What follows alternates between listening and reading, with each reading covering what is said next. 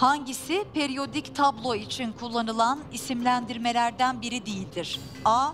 Periyodik liste B. Periyodik cetvel C. Periyodik çizelge Ee, periyodik cetvel kullanıyorduk diye hatırlıyorum. Ee, lise zamanlarında, ilkokulda daha çok, ee, fen bilgisi derslerinde. Ee, periyodik çizelge, periyodik liste. Aslında bu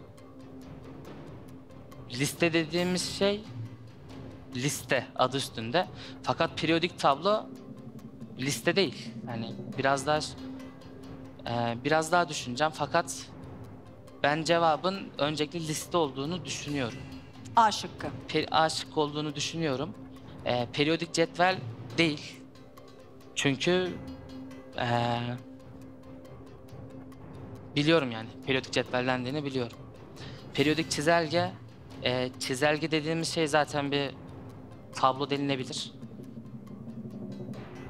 Bu kez hızlı davranacağım çünkü çok düşünecek bir şey yok bu soruda. Ee, Joker'im de yok. Tufan Hoca'ya da soramıyorum.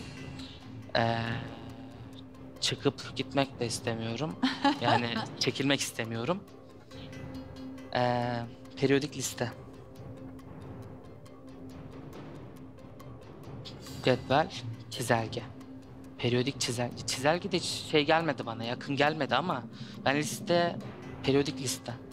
Periyodik tablo, periyodik cetvel. Cevap bir de cetvel çıkarsa çok üzülürüm. Ya. Direkt onu eledim ya en başta. Periyodik liste. Ya şimdi liste de olabilir. Şu an şey olmuyor ya. Ee, A'ya gitsem BC'de kalıyorum. B'ye gitsem AC'de kalıyorum. Hiç kalmayın. Ben periyodik liste diyorum, onaylıyorum. Yani Eh, hepsi olabilirden A şıkkına hayır dönüş. en başta o dön- periyodik liste liste değil o ya. Yani periyodik cetvel var, kullanılıyor. Ee, çizelge zaten periyodik çizelge, periyodik liste. E, çizelge de işte biraz uzağım aslında ama Ama tabloyla zaten cevabı verdiniz ve zaten onayladınız.